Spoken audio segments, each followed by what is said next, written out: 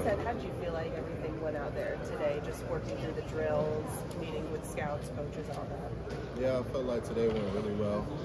Um, it's an exciting day uh, for all the guys who can come out here and show their talents, uh, especially the guys who didn't get invites at the combine. Uh, my goal today was just come out here, look good, look like been staying in shape, looking like a great athlete. Uh, I felt like I did that today. I saw Aaron Curry was working you through some drills. What kind of feedback was he giving you? What was the kind of time like out there? Yeah, he's, he's a tremendous coach. Me and him met this morning, uh, broke down some film, talked some football, uh, and just really just giving me good advice, you know, staying hydrated, being myself, having good technique, don't be out of control, just different things like that just keep me going throughout the day. So you do a little bit of everything. Can scouts talk about where they want you to line up yeah, I mean, primarily I play the weak side linebacker.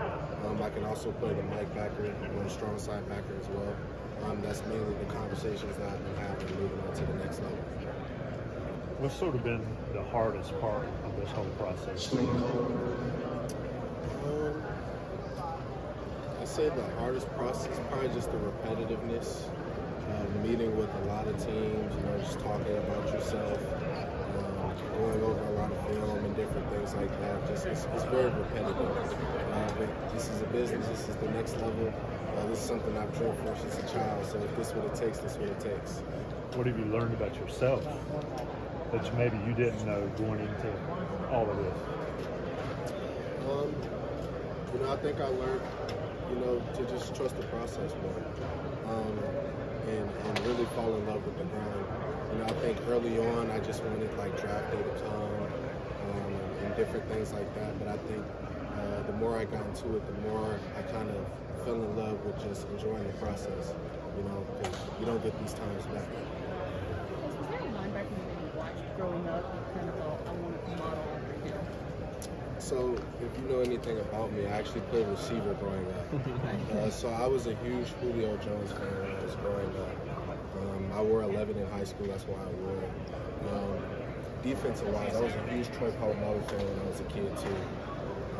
So no specific linebacker growing up, but now today my favorite linebacker is Fred Woods. Being a, a Polamalu fan, is there any part of you know meeting with Curry today is a little bit surreal after watching Troy growing up? Yeah, it's, it's, it's definitely a little bit surreal. Like, that was my favorite team when I was growing up. Um, a huge fan of Mike Tomlin, so it's, it's definitely a, an encouraging moment to meet with the Steelers and, and to get good feedback from them. I know Mike T wasn't here today, but have you talked with him at all at any other points in this process? Yeah, I've talked with him at the Senior Bowl, so that was a good conversation to have with him. Somebody that I looked up to since I was a kid, so it was definitely uh, good, good to meet him. The, the 704 has really showed out in, in the draft in recent years. How proud are you to be part of that tradition and, and add to it? Yeah, I'm, I'm very proud to uh, come from Charlotte. We have a lot of talented guys that come out of Charlotte. Um, definitely the best football that's being played in North Carolina at the high school level. Um, so just glad to be a part of that group, glad to represent my city well, and to be able to be the next Charlotte guy to kind of come out and put on. Speaking of the, the group coming out of Charlotte, I mean, not even just here, but kind of the, the pro days all across North Carolina, How much have y'all leaned on each other throughout this process? Yeah, we, we've leaned on each other tremendously. Like, you know, just starting with Drake, you know, like I said, I played wide receiver in high school. Drake was my seven on seven quarterback. Uh, so I've known him for, for a very long time.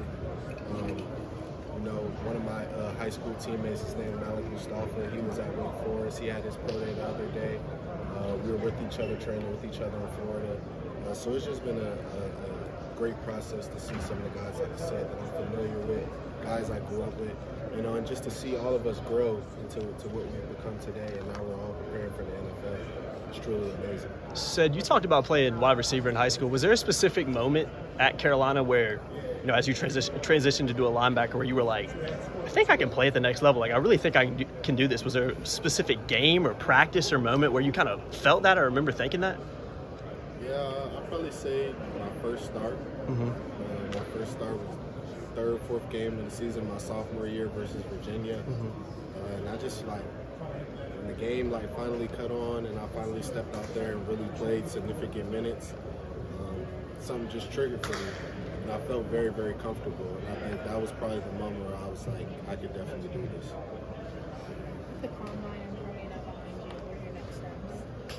Yeah, so next steps just continue to meet with teams, uh, you know, have intelligent football conversations, uh, stay in shape, um, obviously getting football ready for rookie minicamp, uh, just prepare for the draft. See, see wherever it takes us.